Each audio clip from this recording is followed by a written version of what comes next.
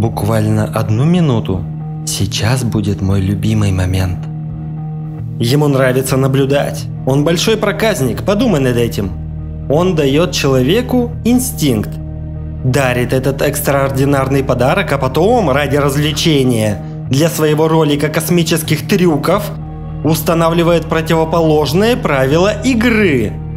Это самый жестокий розыгрыш за все минувшие века. Смотри, но не смей трогать. Трогай, но не пробуй на вкус. Пробуй, но не смей глотать. И пока ты прыгаешь с одной ноги на другую, что делает он?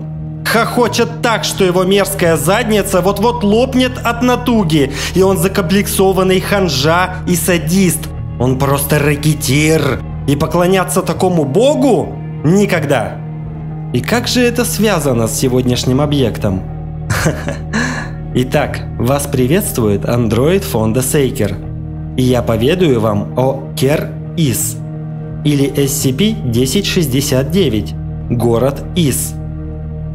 Объект номер SCP-1069. Класс объекта Евклид. Особые условия содержания. Территория в радиусе 5 километров, окружающая SCP-1069, официально закрыта для доступа гражданских лиц под предлогом химического загрязнения. Все сотрудники фонда на месте работают под прикрытием экологической организации, занимающейся очисткой окружающей среды. Исследования SCP-1069-1 или эксперименты с ним допускаются только с одобрения не менее двух сотрудников научной службы с уровнем допуска 3. Все сотрудники в пределах зоны должны быть оборудованы средствами защиты органов слуха, звуконепроницаемыми или модулированной обработки звука.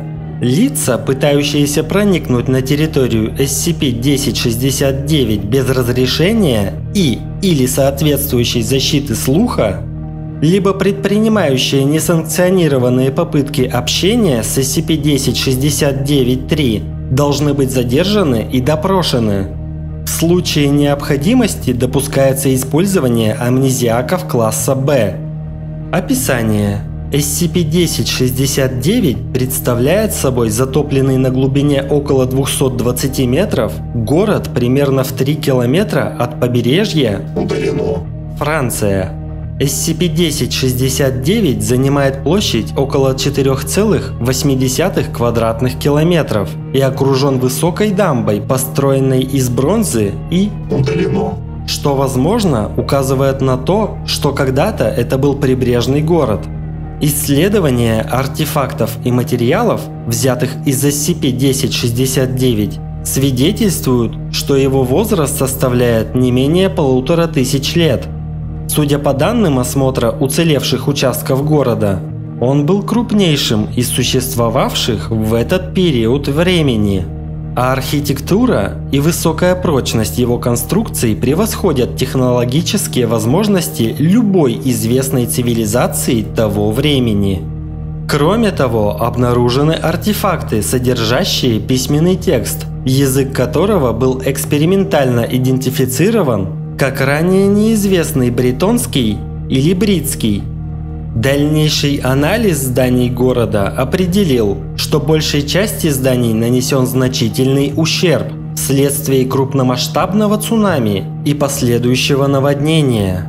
Однако наружная дамба не имеет таких повреждений. Предполагается, что волна достигала достаточной высоты, чтобы захлестнуть стены и затопить город – SCP-1069-2 представляют собой нематериальные человеческие фигуры, населяющие SCP-1069-1. В настоящее время их количество оценено как превышающее 78 тысяч. Существа одеты соответственно большому диапазону исторических периодов, от нарядов времен 500-х годов нашей эры до военной формы Второй мировой войны и занимаются деятельностью, согласующейся со сведениями о жизни горожан времен V века. Экземпляры SCP-1069-2, похоже, не в состоянии воспринимать или иным образом осознавать существование живых человеческих субъектов, даже при попытке непосредственного общения с отдельными особями. SCP-1069-3 – специфический гуманоид женского пола, обитающий в SCP-1069-1, последовательно описываемый как обладающий царственным поведением и облаченный в одежду, характерную для знати V века. SCP-1069-3 способна к общению и предпочитает разговаривать с определенными сотрудниками – особенно с обладающими высоким уровнем экстрасенсорной чувствительности. SCP-1069-3 не является враждебной или опасной для сотрудников фонда. Однако несколько сотрудников сообщали, что замечали необычные рыбьи или дельфиньи части тела, такие как плавники или хвост, когда SCP-1069-3 находилась в их периферийном зрении – а также описали несколько попыток субъекта убедить их переселиться в ее город. SCP-1069 был обнаружен 1900 гражданской археологической экспедицией, занимавшейся поиском и исследованием подводных руин близ Удалено Агенты фонда, внедренные в состав экспедиции, запросили подмоги после исчезновения трех гражданских членов команды во время первого контакта и разведки. Команда сдерживания смогла успешно обезопасить SCP-1069. Всем выжившим членам экспедиции были введены амнезиаки класса А и представлена ложная версия событий – Приложение SCP-1069-1. Отчет об инциденте 1069-8. 1900 во время исследовательского погружения в восточном районе SCP-1069-1 члены исследовательской группы, доктора И, были по всей видимости вовлечены в беседу SCP-1069-3. Судя по фрагментам аудиозаписи, извлеченной из останков диктофонов батискафа, исследователи беседовали в течение нескольких минут, после чего люк батискафа был взломан неустановленным образом, что повлекло катастрофическую разгерметизацию. Обломки батискафа были извлечены из восточного района без происшествий – вместе с одеждой и личными вещами докторов и трупов или каких-либо останков обнаружено не было. Сотрудники, участвовавшие в последующих исследовательских погружениях, сообщают об обнаружении экземпляров SCP-1069-2, соответствующие описанию докторов и в восточном районе SCP-1069-1, одетых в современную повседневную одежду. Как и прочие подобные существа, они не отвечали на попытки общаться или иным привлечь их внимание.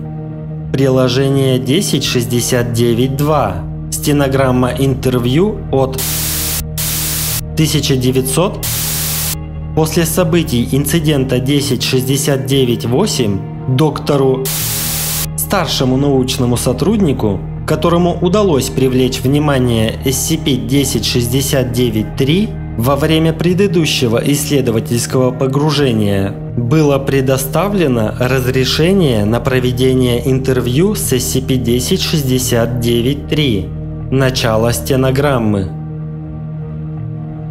С возвращением. На этот раз вы пришли, чтобы присоединиться к нам? Нет, но я хотел бы задать вам несколько вопросов. Конечно. Кто вы, собственно? Я Дехут, дочь Градлона. Здесь есть те, кто зовет меня королевой. Но я всего лишь страж этого города. Все, кто ищет здесь убежище, равны.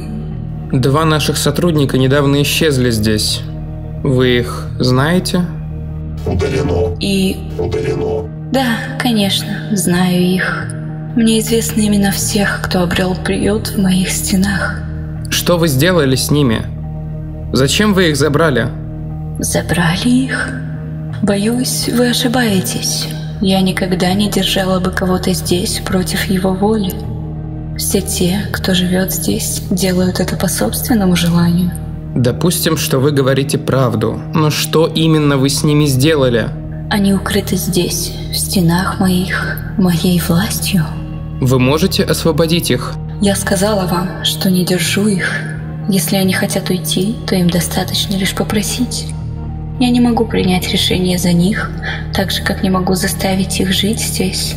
У этих людей есть семьи, знаете ли. Они должны... Да, у них есть семьи с детьми, которые выросли, и супругами, которым они охладели. Они не имеют никакого желания оставаться в мире, где каждый час бодрствования они проводили в страхе перед неизвестным. И они выбрали мое святилище взамен. Откуда вы знаете? Они мне так сказали, так же, как и то, что вы Удалено. все еще безбрачны и вряд ли пожелаете присоединиться к ним. Вы лжете! К чему мне лгать? Все, что я когда-либо просила, право жить в спокойствии, вдали от политики и уловок тех, кто жаждет править миром. Я терпела таких, как вы, долго, пока вы пытались контролировать то, что вы не понимаете. И я терпела, несмотря на все их усилия уничтожить меня. Я не знаю, о чем вы говорите. Нет, конечно, не знаете. Однако знают ваши вожди, которые будут читать этот разговор. Я пыталась создать святилище, мирный город на берегу. Ваши предшественники страшились моих способностей, стремились запятнать мое имя и распространять ложь, чтобы отговорить своих последователей от попыток найти приют в этих стенах. В течение многих лет, даже десятилетий, они пытались погубить меня. Сначала с помощью слов, затем силой оружия и, наконец, прибегли к магии.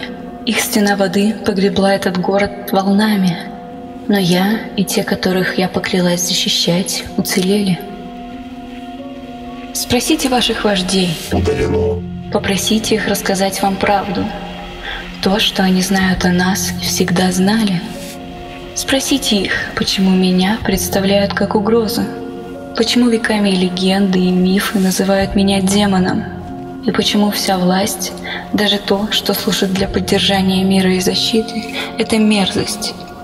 Возможно, тогда вы увидите, что произошло здесь на самом деле, и зло, которое таится в их сердцах. Хорошего дня. Удалено. Желаю вам всего наилучшего. Конец стенограммы. Приложение 1069.3. Примечание исследователя. По состоянию на 2000 все дальнейшие экспедиции в SCP-1069 приостановлены в ожидании дальнейшего расследования и изучения возможной подрывной деятельности SCP-1069-3. Весь персонал, имевший прямой контакт с SCP-1069-3, должен быть незамедлительно помещен на карантин в соответствии с протоколами телепатического миметического загрязнения – Коллеги. Коллеги, на всякий случай после прослушивания советую оставить заявки на амнезиак класса Б на портале artscp.com или напрямую у ВКонтакте vk.com slash scpfoundation. Мне бы не хотелось подвергать вас риску. Я гуманист! Быть может, последний на Земле?